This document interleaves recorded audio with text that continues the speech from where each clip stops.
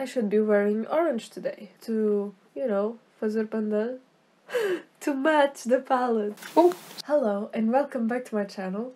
Today it's about using the palette I made last week, so you haven't if you haven't watched that video, I'll leave a link up there and down there just so you can check it out and see the process of creating this palette and the reasons why I made it and yeah, things. So, in case you're new here, hi, my name is Francisca. I'm a Portuguese artist, printmaker. Oh, I like watercolors, I like printmaking, I freaking love colors. Today I'm using the palette I've made last week and it is a predominant, predominantly oh, orange palette and warm palette. I have a three colors I would consider orange even if one of one two of them are called red in the packaging, I would consider those three orange. And I have a few earth tones. Uh, I'll explain all of that in last week's video, so... But I made two paintings, and the first one is a study of my dog in the kitchen. She was looking at broccoli on the table, and she freaking loves broccoli. She's a really cute dog. I decided to paint her from the picture I had, and the picture has two main source of sources of light.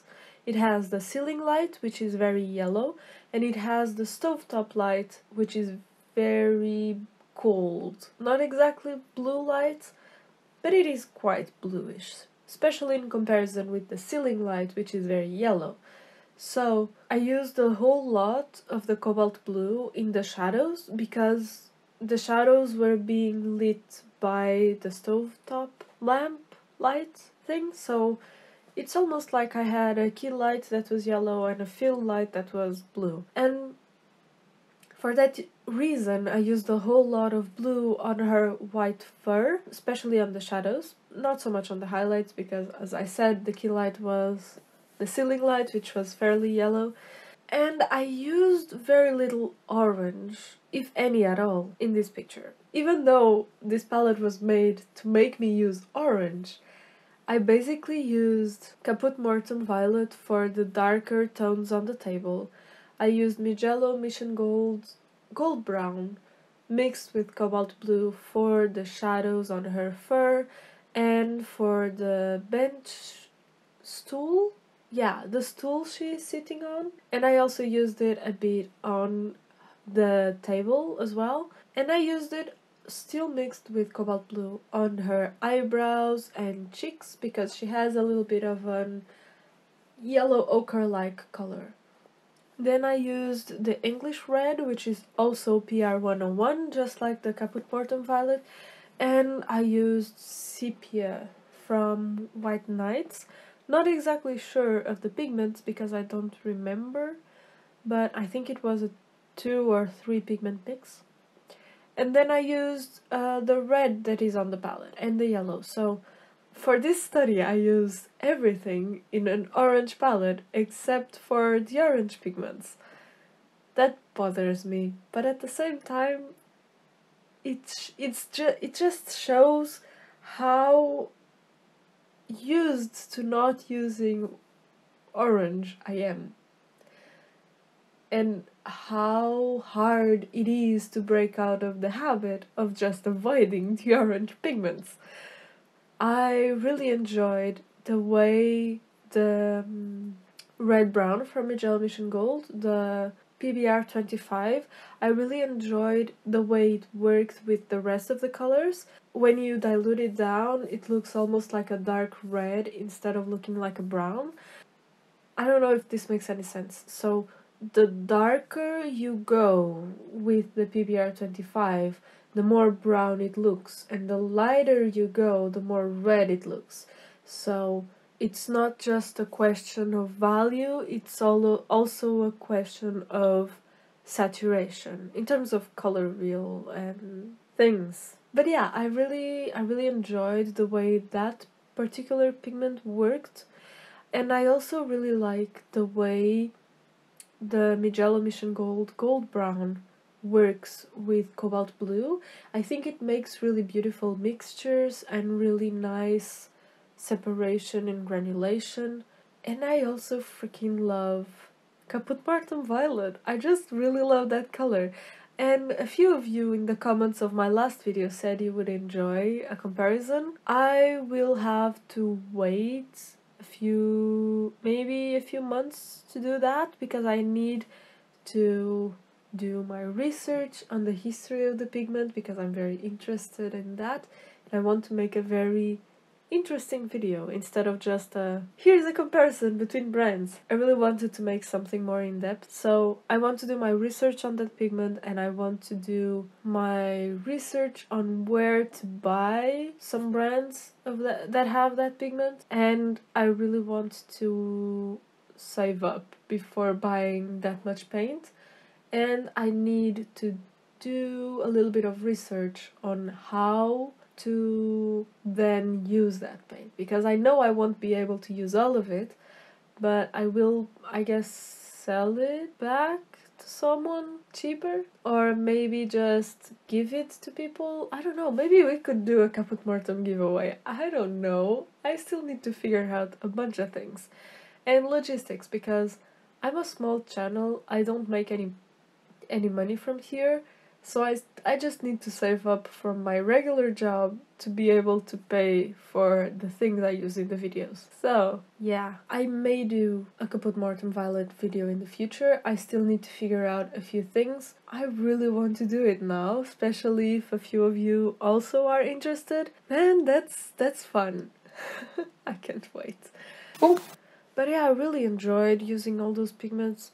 The things I didn't like about this palette were it was really hard for me to mix a really dark a really really dark mix because the cobalt blue I forgot about this from the this issue from the White Nights cobalt blue but the White Nights Cobalt Blue is really chalky when you use too much. I was using it to achieve dark tones with the sepia. Yeah, that was not a great idea. I should be using like an ultramarine blue or something. I'm just not a big fan of it. But what happened is that all my darks got kind of muddy and kind of dull instead of pretty, and I'm really sad about that because I really enjoy being able to use strong, punchy, inky colors, but you can't really do that with this cobalt blue and I forgot about it when I made the palette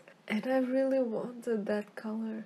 So yeah, I had a really hard time mixing darker colors and I had a really hard time giving dimension to her because I couldn't get a super dark thing without making it just powdery cobalt blue, you know what I mean? So I may swap it out in the future for an, an ultramarine or something like an Edam Indanthrone blue. When you use a palette, that's when you actually learn the limitations of it, not when you make it.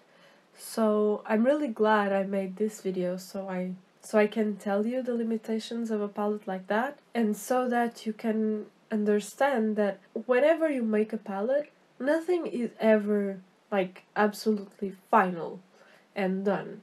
You will always have to let your palettes evolve according to your needs when you are using it and according to the limitations you are willing to work around and the limitations you are not willing to work around. Like in this case, I am willing to work around not having many greens and not having many purples, but I'm not willing to work around not having any darks. And that's very important for you to know what are you willing to sacrifice when you use a limited palette. What are the challenges in terms of painting that you are willing to go through. I think it's more noticeable when you do a demo painting than when you do a mixing chart. And then I really wanted to talk to you about the one I did from imagination because what I found really hard on that one was mixing a nice skin tone. It looks very easy when you look at the colors I have, but many of them are earth tones that are very opaque. And since they are so opaque, the particles end up being a little bit heavy.